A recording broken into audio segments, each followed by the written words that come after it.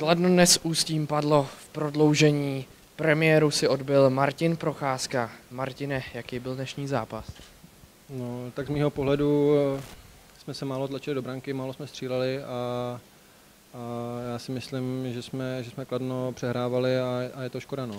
Mrzí mě to, že ta, že ta premiéra nebyla vítězná. Eh, Z tvého pohledu ten zápas byl vydařený. Já bych neřekl, že vydařený vždycky to může být lepší, ale, ale myslím, že jsem, že jsem předved a ukázal, že mám na to tady hrát, nebo tady hrát eh, jsem řekl špatně, ale že dokážu Kladnu pomoct. Eh, Ústí hrálo hodně vyrovnaný hokej od začátku. Co si myslíš, že byla ta největší jeho, s čím přijeli? Tak oni od začátku hráli dobře střední pásmo, měli to tam přehuštěný a čekali jenom na breaky a na naše chyby. My jsme jim bohužel dali až, až moc chyb a dali z toho tři góly, no, takže bohužel. Je to teda podle tebe dneš, dnešní ten rozdíl nebo to rozdání bodů spravedlivý? Já si myslím, že ne. Já si myslím, že my jsme byli ten lepší manšaft a že my jsme měli mít tři body, ale takový je hokej a s tím se nedá nic dělat.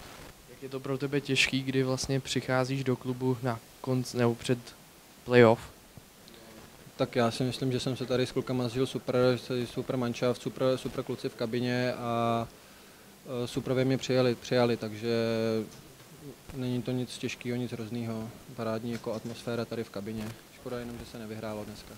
Styl hokeje ti teda taky vyhovuje. Jo, a ten mi vyhovuje, to je super tady. Poslední otázka, určitě víš, že jsi druhý Martin Procházka v Kladně, jak to vnímáš a jak třeba okolí na to reaguje, že zrovna nastupuješ v Kladně, kde ten olympijský vítěz Martin Procházka jmenovec nastupoval v minulosti. Tak bylo tady pár narážek a vnímám to určitě pozitivně a doufám, že to slavné jméno jako nesklamu a budu podávat eh, dobrý výkony.